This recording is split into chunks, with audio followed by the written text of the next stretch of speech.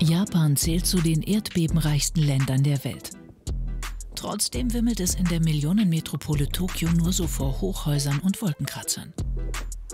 Eines der markantesten, der Skytree, mit 634 Metern sogar das dritthöchste Gebäude der Welt. Aber wie bereiten sich die Japaner auf Erdbeben vor? Und wie schaffen sie es, Häuser zu bauen, die trotzdem stehen bleiben? Um die Bevölkerung auf den Ernstfall vorzubereiten, gibt es Katastrophentestcenter. Hier kann man zum Beispiel Erdbebenszenarien durchleben. Im Life Safety Learning Center der Feuerwehr von Tokio ist unsere Reporterin Nagisa mit Shinji Kitamura verabredet. In dieser Einrichtung sollen sich die Leute Wissen und Fähigkeiten für den Notfall aneignen. Das Wichtigste bei einem Erdbeben ist, dass man sich nicht verletzt. Denn wenn man verletzt ist, kann man sich ja auch nicht mehr in Sicherheit bringen. Dafür werden den Besuchern unterschiedliche Szenarien angeboten. Das Life Safety Learning Center verfügt sogar über eine Sturmabteilung. Hier kann man erleben, wie es ist, wenn man schutzlos in einem starken Taifun unterwegs ist. Ich glaube, ich war noch nie so gut eingepackt in Plastik. Und es ist hier so warm und feucht wie in so einer Sauna oder so einem Hammam irgendwie. Also ich bin sehr gespannt. Mit 30 km/h peitschen Nagisa Regen und Wind entgegen. Nicht wirklich angenehm. Das war eigentlich so, als ob ich mein Gesicht in den Duschkopf so reinhalten würde. Ganz zentral im Life Safety Learning Center ist jedoch dieser Raum. Die Plattform kann hier verschiedene Bewegungsmuster echter Erdbeben aus der Vergangenheit reproduzieren. Wenn es ein Erdbeben gibt, die Käferpose einnehmen. Sich also hinsetzen und den Kopf schützen. Wenn man einen Tisch in der Nähe hat, in die Affenpose gehen. Die Tischbeine dazu festhalten und Kopf und Körper damit schützen. Kitamura und sein Kollege simulieren für uns das Erdbeben von 2016. Damals wurde der Süden Japans rund um die Stadt Kumamoto mit einer Stärke von bis zu 7,3 erschüttert. Von weitem sieht das simulierte Erdbeben gar nicht so stark aus. Aber unsere Reporterin Nagisa kann gar nicht anders, als sich möglichst klein zusammenzukauern. Ich glaube, ich verstehe, warum es so wichtig ist, dass man das verinnerlicht, wie man sich bei einem Erdbeben verhält, weil wenn es dann so plötzlich kommt, ähm, ja, das muss dann irgendwie einfach, da muss man automatisch wissen, was man tun soll. Und genau darum geht es auch. Übungen dieser Art werden in Schulen, aber auch innerhalb von Unternehmen regelmäßig durchgeführt. Denn auch wenn es ein offizielles Warnsystem gibt, viel Zeit bleibt im Falle eines Erdbebens nicht. Es gibt nicht immer vor jedem Erdbeben eine Warnung. Und selbst wenn es eine Warnung gibt, passiert das nicht immer eine Minute im Voraus. Manchmal haben wir nur Sekunden. In Kaufhäusern gibt es ganze Abteilungen mit Dingen, mit denen man sich für den Ernstfall vorbereiten kann. Von extra lang haltbarem Tütenessen hin zu Notfallsets mit Verbandszeug und Schutzhandschuhen. Manche Ausführung überrascht uns allerdings auch. Das ist so ein bisschen so das Luxusset, habe ich das Gefühl. Weil es typisch japanisch in diesem Set sind auch Pantoffeln mit dabei. Und es gibt noch mehr Ideen. Handschuhe mit integriertem Shampoo zum Haarewaschen. Portable Waschmaschinen und ungewöhnliche Toilettenlösungen, wie hier mit einer Unterlage als Ersatztoilette und einem Beutel zum Überziehen als Sichtschutz.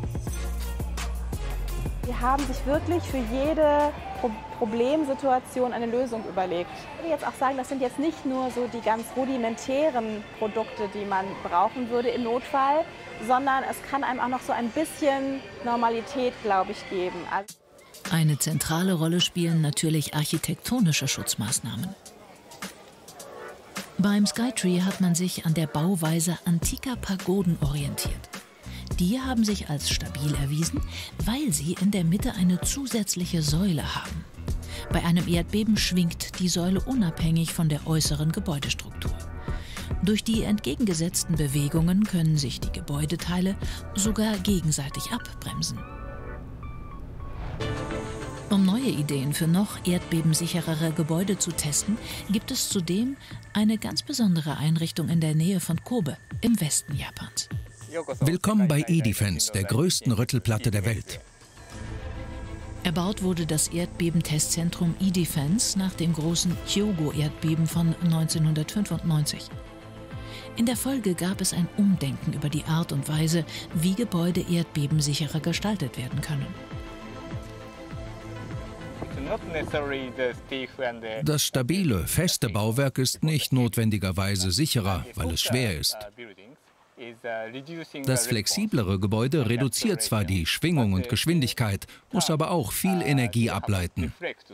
Fassaden oder Glaswände können kaputt gehen. Eigentlich muss man die seismische Energie kontrollieren. Um zu verstehen, wie man die seismische Energie besser ausgleichen kann, bringen die Forscher hier bis zu fünf Stockwerke hohe Gebäude zum Beben. Dabei geht es nicht nur um architektonische Fragestellungen, sondern auch um die Inneneinrichtung. Denn in Krankenhäusern ist es essentiell, dass die Geräte ununterbrochen laufen können und dementsprechend gesichert sind. Toru Takeuchi und Jun Fujiwara haben ein ganz besonderes Experiment vor. Die Replik einer Schulturnhalle soll erschüttert werden. Turnhallen spielen eine wichtige Rolle, weil sie nach einem Erdbeben als Evakuierungsräume genutzt werden. Daher müssen sie besonders sicher konstruiert sein. Toro und Jun wollen Dämpfer im Dach der Turnhalle testen.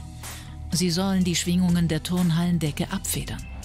Bewegt wird die Turnhalle von riesigen hydraulischen Kolben, die sich unterhalb und seitlich der Rüttelplatte befinden. Zehn Kolben bewegen die Platte in der horizontalen und 14 Kolben in der vertikalen. Bis zu 1200 Tonnen kann die Platte bewegen. Jedes Experiment ist ein kleines Event, nicht nur für die Medien, sondern auch für die Angestellten. Das Experiment muss ja sicher ablaufen und auch die Ergebnisse müssen exakt und nachvollziehbar sein. Da kann man vorher schon schlecht schlafen. Toru und Jun begleiten das Experiment vom Kontrollraum aus. Für ihre Forschung sind die Testläufe von entscheidender Bedeutung. Eine Computersimulation ist virtuell. Wir haben uns das ausgedacht. Aber ein Experiment ist wie eine Nachricht von Gott. Wenn das Ergebnis nicht so ausfällt, wie von uns erwartet, ist das neues Wissen.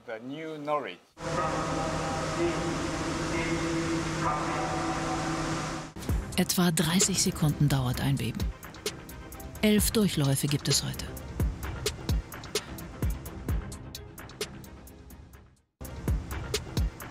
Der Dämpfer am Dach erweist sich als sehr stabilisierende Konstruktion. Erst als die Ingenieure im letzten Durchlauf die Erschütterungsstärke nochmal steigern, bricht das Dach. Für die Forscher ein Erfolg. Die größte und wichtigste Errungenschaft von eDefense ist nicht nur, dass wir in Realzeit und Realgröße untersuchen können, wie Bauwerke einstürzen, sondern auch, dass das der Öffentlichkeit, den Menschen demonstriert wird, damit sie verstehen, dass höhere Kosten für zusätzliche Sicherheit nicht zu hoch sind. Sie können so verstehen, dass es das wert ist. Simulieren, testen, üben. Mit immer neuen Ideen hat das Land den Erdbebenschutz bereits weit vorangetrieben. Leider bleibt Vorbereitung die einzige Vorkehrung, die man treffen kann. Denn Vorhersagen lassen sich Erdbeben weiterhin nicht.